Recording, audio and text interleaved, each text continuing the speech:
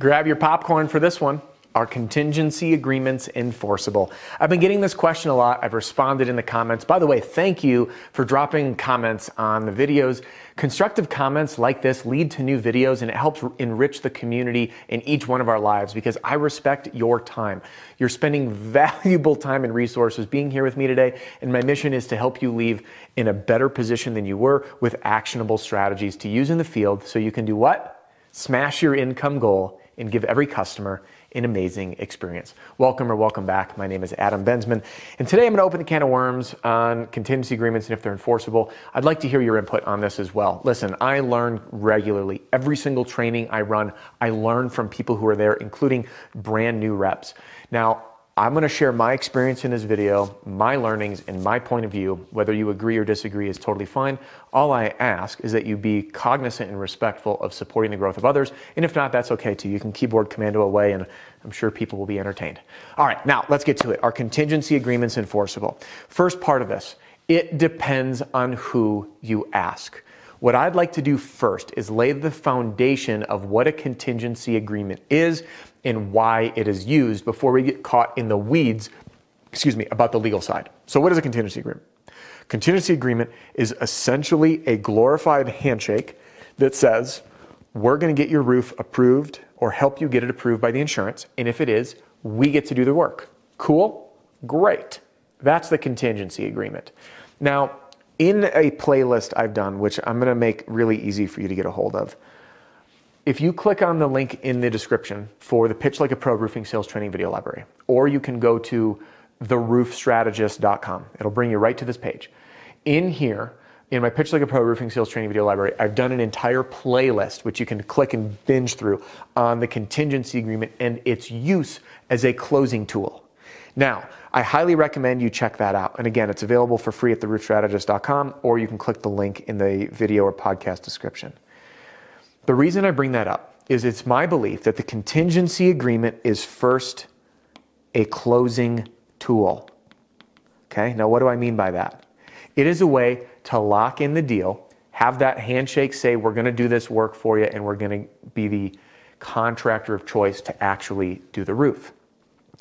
Next, it is again contingent upon approval, meaning if the insurance company says no, we're not replacing it. They don't owe you anything. So it removes risk. Okay, so contingent upon approval. And I've done another video ah, a couple weeks back on risk reversal by removing people's fear of signing the thing.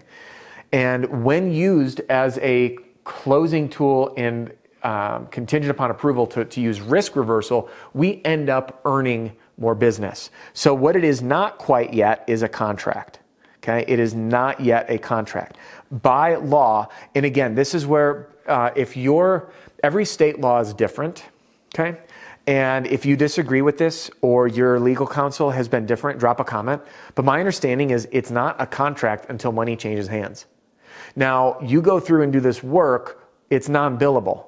All right? So if they cancel on you, it's not a contract yet until money changes hands.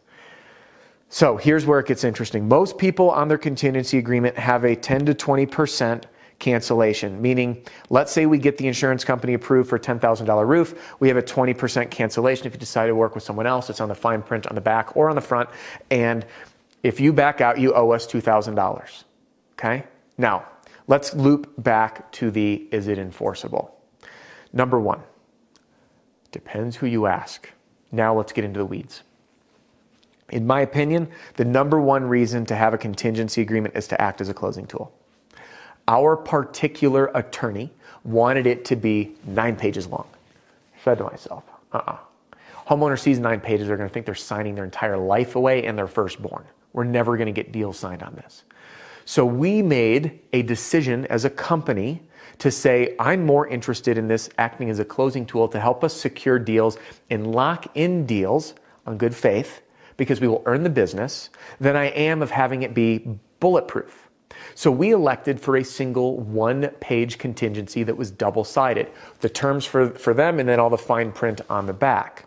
What this allowed us to do was increase the volume of people who were excited to sign it because of how we positioned it, which by the way, I teach in that uh, free video library, the Pitch Like a Pro Roofing Sales Training video library. And if you want to learn like my whole in-home sales system, I do that with my program called the Roofing Sales Success Formula, which is an all-in-one sales training sales strategy and sales system that's being used by thousands as we speak, from the smallest companies that started yesterday to some of the top 100 roofing companies in America.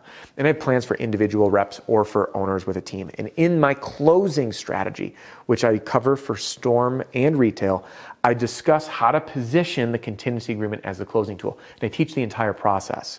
Now, there is a sample contingency agreement included in my program, uh, but I just want to be crystal clear. It is a sample because every state law is different. Some company or some states say, you know, your cancellation clause has to be in this type font, this typeface, this size on the first page with this number of days. The next one has it differently. So you just got to make sure that you're compliant with your local laws. Now, so let's get back to it. Number one, main mission, act as a closing tool. Number two, question, is it enforceable? I saw a comment on one of the videos and someone said, hey, it is according to my attorney.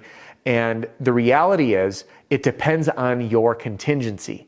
If you have everything listed out, could it be enforceable? The answer is yes. My next question to you is this Is it worth going after? Do you know what an attorney is going to cost you?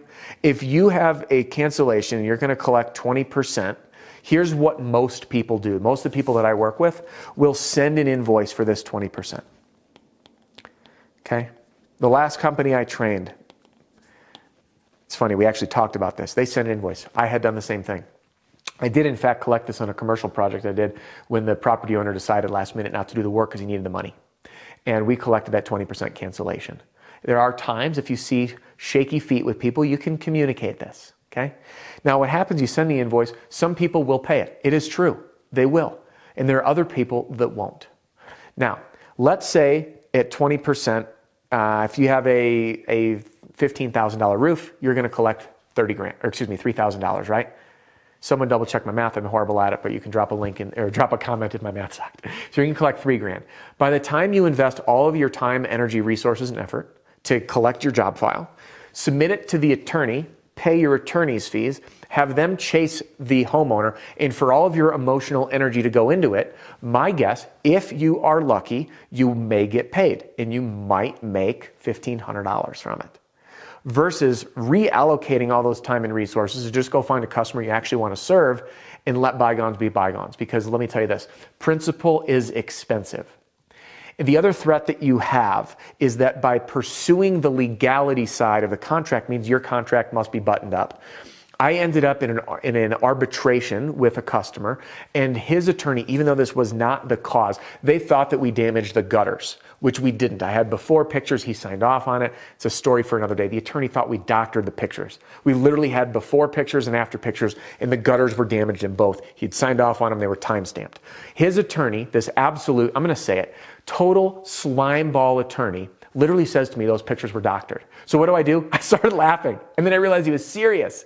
And then Mr. Slimeball attorney starts diverting all this attention about the gutter damage to the terms of our contract and pokes holes in all of these different areas. Now, the funny thing is, this was an $800 discrepancy that I ended up solving by kicking both attorneys out of the room and having a man to man with the gentleman sitting across the table from me. And we got it solved right there.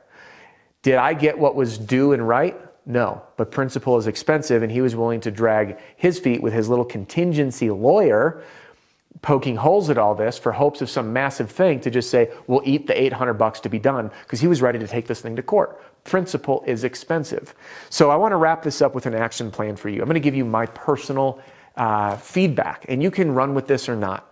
In my opinion, number one, contingency agreement should be positioned as a closing tool and it should be advantageous for the homeowner because you will sign more deals. I'd rather sign 20% more deals because the contingency agreement is positioned and communicated the right way and lose a couple rather than making it bulletproof so no one can back out and screw me over and I'm just going to be a, a grunt ball and I'm going to make sure they're bulletproof. And what will happen is you're going to sign less deals because homeowners are going to look through that and be scared so I would rather deal with that. The next thing, first course of action is to send the invoice in compliance with the cancellation details of your contingency agreement. And some people, by the way, do teach that you can review this with the homeowner so they're aware of that penalty. So you do lock that deal in. Send the invoice. Many people will pay it, some won't. You can always, of course, follow up with a phone call, and then it is up to you should you choose to go the legal route. I'll tell you mine, unless it was an absolute monster project, a commercial project, unless we had exorbitant amount of time, energy, and resources getting something approved, that is the only time. And there were a couple of them that we did that for. But it's a very selective position. Otherwise, to my sales friends out there and to owners, remember, sign more deals. Principle is expensive. Send that invoice, move on, and go sign a customer that you are meant to serve. Hey, thanks for joining me in today's video. If you haven't yet done it, I'd love for you to join me to learn more about this contingency agreement, how to position it as a closing tool.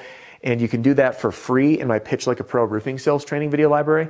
And if you want, I'd love to chat with you, or you can chat with my team about our all in one sales training, sales strategy, and sales system to learn the entire system to rock it out with your homeowners. All right, and there's a link in the description below. You can always give us a call at 303 222 7133, call or text, and I will see you on the next video.